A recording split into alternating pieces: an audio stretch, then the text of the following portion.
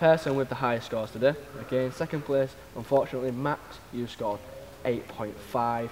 And in first place, Ben, you scored a massive 6.5. Yes. Get in. Come on.